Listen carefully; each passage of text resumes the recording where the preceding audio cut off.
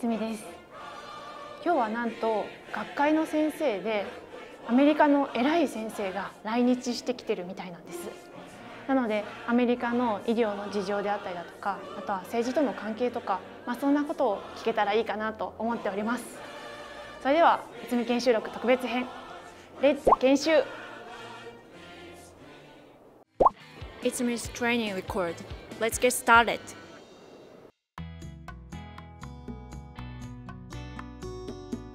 ちらがアメリカで活躍するサイレンジ智子先生です。飯塚病院での初期研修を経てアメリカへ。現在はワシントン大学の准教授として医学生に家庭医療の指導を行いながらクリニックでも奮闘しています。そのアメリカでとかシアトルでホットな話題ってどんなものがありますか？えー、と最近、まあ、とても残念なことなんですけどアメリカの中でもそのその州によってその医療の法律が変わってきていて例えばあの、まあ、トランスジェンダーの方がこうホルモン療法を受けられないとかあとどんな理由であろうとこう妊娠してしまったら妊娠中絶は認めないとかそういう医療を提供する医者は逮捕されるとかそういう方向になってる州が増えてきてるんですよね。例えばあのアイダホで妊娠中絶はできなくなるのでアイダホとあの隣接している州がワシントン州なのでワシントン州で車で車で来たりとかもうかなり遠くまで行って医療をアクセスするようなことになったりしてるもうすでになっているところもあります。問題なのはその政治的な分断がそのあの医療にもこう関わってきていて何ができて何ができないかっていう制限をかけるように特に医療の知識がない政治家たちが決めているのはちょっとあの悔しいですね。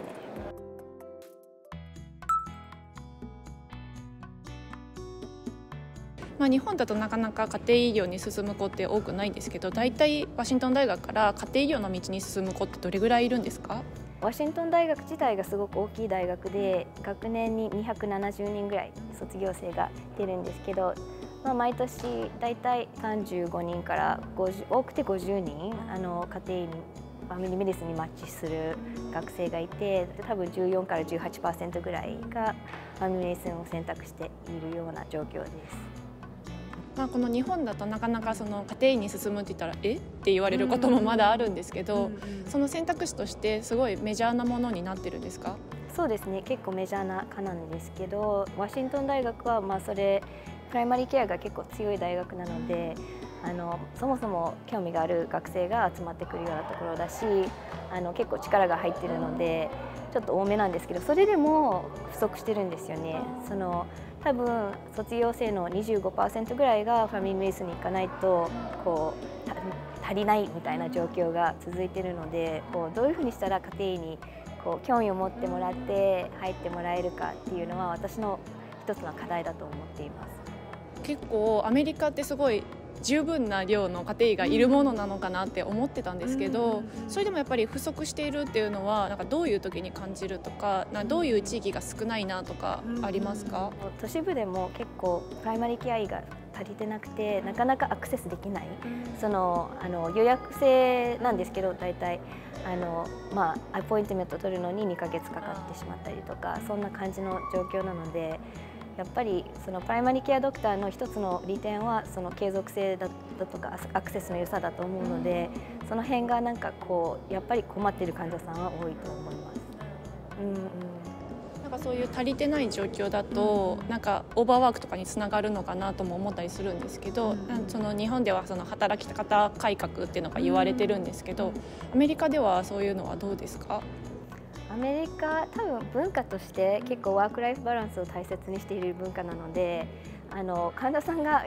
悪く言えば患者さんが困っていてもこう私たちは仕事はここまでっていう感じのそのなんかはっきりしているところがありあるんですよね。あと世代のこう違いっていうのも最近感じるように私もなるような年齢なのでこう例えば今の世代はこう私たちの世代よりもワーク・ライフ・バランスを求めていてで多分そういうふうに仕事も変わってきている部分があって例えばフルタイムでも1日10時間週4とかがフルタイムになって 3, 3週休3日とかそういうふうになっているところもあったりコロナもあってあのテレヘルスっていうのもできるようになってきていて、あのまあ、家から自分の外来ができるっていうのも少し柔軟になってきてるところがあると思うので、まあ、これからどういうふうになっていくかわからないですけどでも、うんあのまあ、少し柔軟性を求める世代がやってきたっていう感じですね。うん、それこそ実際学生に教えていてその時のまあ反応であったりだとかそこでの難しさとか、うん、逆にこういうとこは良くなったなみたいなのありますか、うん、そうですねま多分何パターンかこうあると思うんですけど一つはやっぱり家庭の診療範囲が広すぎてなんかその広さに圧倒されたりなんか大変そうって言ってこうなかなかあの、まあ、スペシャリティの科を選択する学生がいると思うんですけどでもその反面そのやっぱり今の世代のすごくいいところはソーシャルジャスティスとかあの、まあ、平の平等に医療を誰でも受けられるようにして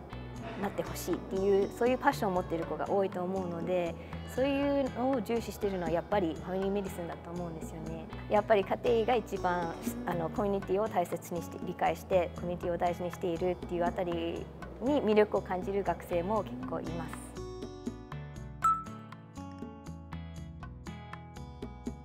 つぐらいからアメリカで医者をしたいアメリカで家庭医をしたいって思われていたんですか？私はもともとずっと小児科医になりたくてで小児科医になるために医学部に入ったっていうようなあの結構長く強くそういう思いがあったんですよね。であの、まあ、初期研修中もずっと小児科医になりたくてでもその初期研修を終える頃にピッツバーグの家庭医たちが2ヶ月に1回2週間ずつ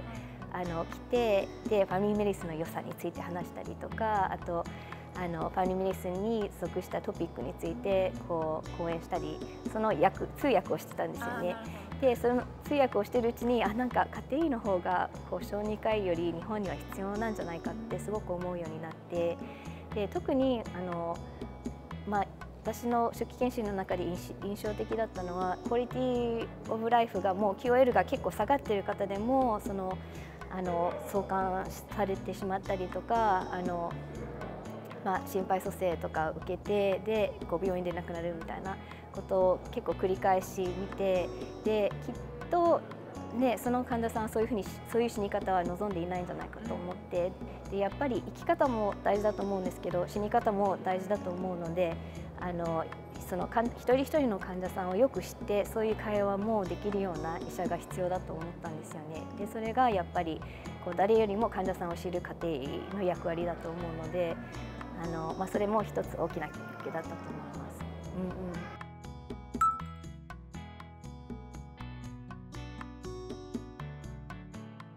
私は今アメリカ人の夫とあと娘2人と暮らしてるんです。あの夫もあのフルタイムで仕事をしていて医療経営の仕事なので結構忙しいのであの私もフルタイムで仕事してるので協力し合ってやっていかないといけない部分がすごく多くてあとはまあ協力してももう2人とも忙しいので結構外の力をあの借りて子育てをしているような状況であの例えば子どもたちの面倒を見てくれる、まあ、ベビーシッターさんがうちに来てくれるような形になっていて小学校の送り迎えも車でしないといけないのでその迎えを毎日ナニーさんにしてもらってであの他にももう食事も作れないこともあるので、2週間に1回その日本人のケータリングのビジネスを見つけたのでそのケータリングをにもうあのお願いしてでここ各州の食事はもう準備してもらうみたいな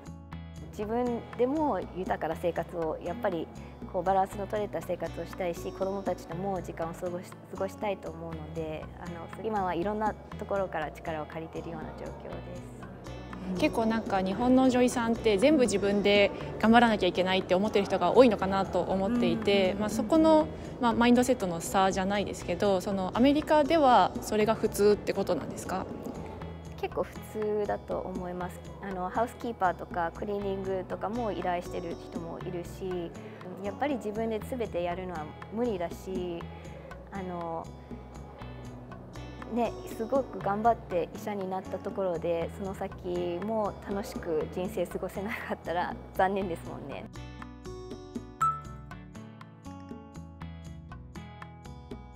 あんまり答えはないないんですけどでも、まあ、あの一旦こうアメリカのその仕事